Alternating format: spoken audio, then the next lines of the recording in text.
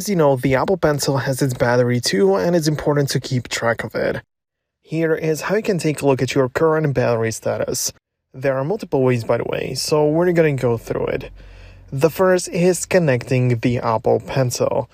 It is the easiest way to do so, and that is by connecting the pencil to the side of the iPad.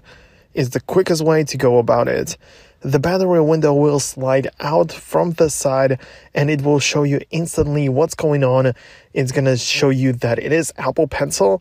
Uh, there is gonna be like this small widget with the battery percentage, and it's gonna show you that it is currently being charged. That is due to the pencil being connected to the iPad. But it's also possible to set up a widget, a battery widget in particular. On the iPad, there are three types of battery widgets and two places where you can put them.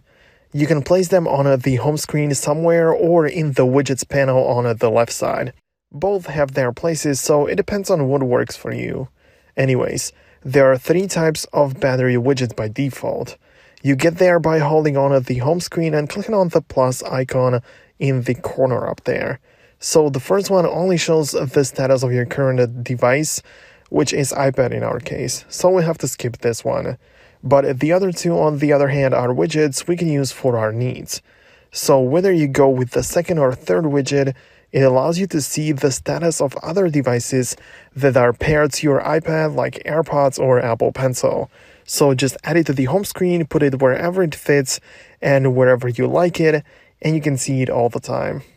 Actually, the first widget works as well for multiple devices, but it doesn't display the exact percentage, only like the circle with green outline representing the charge status. So just use pretty much whichever you want, but the other two seem to be better. Or just stick to the widget panel on the left side. The process is very similar with the difference that you need to swipe all the way there to the left side to get this panel. And then scroll to the bottom to click on edit and you are presented with the same or similar options. So plus button in the corner, click it, scroll down to find batteries and add whichever battery widget you want. So like I said and explained, there are multiple types even with lines and other devices with their names, pictures and battery status. So there is a lot to pick from and put it to the side. Well, the thing is that you can only organize them vertically and you can only get there by swiping all the way there to the left side in the widgets panel. So it's not always there, but you can just always slide there from the main screen on uh, the home screen. So it's also another option. It just really depends on what you like. Or you can, for example, download this app. The link will be down below in the description and you can go ahead and download it and see for yourself.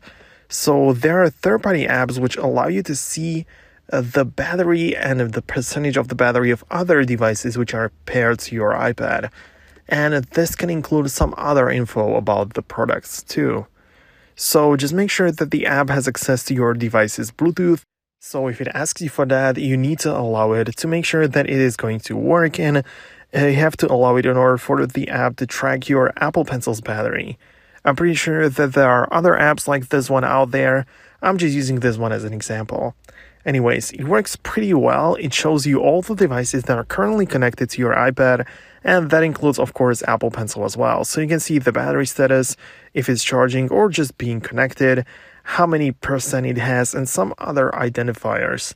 It's good because it takes up the entire screen and you can see it in more detail, but it doesn't tell you anything different than the widget or than the sliding when you connect the Apple Pencil. So it's pretty much doing the very same thing, just a different way to get there. So these were the three options how you can uh, check out or take a look at the uh, Apple's Pencil battery. If you know any other method, make sure to let me know about that down below in the comments. I would really appreciate it, and uh, definitely, um, I'm really excited to see what you write. So, thanks a lot for watching. Subscribe to the Foxtecc YouTube channel because you're not gonna want to miss the future uploads. Thanks a lot for watching, and see you guys later.